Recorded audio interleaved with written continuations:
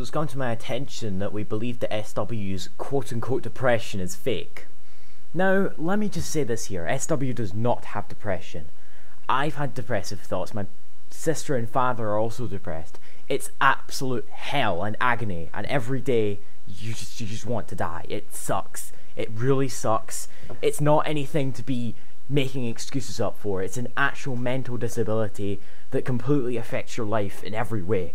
It's hard to get diagnosed with depression, but SW probably isn't medicated for depression. You get medicated for it, or anxiety, antidepressants, or anti-flaxines.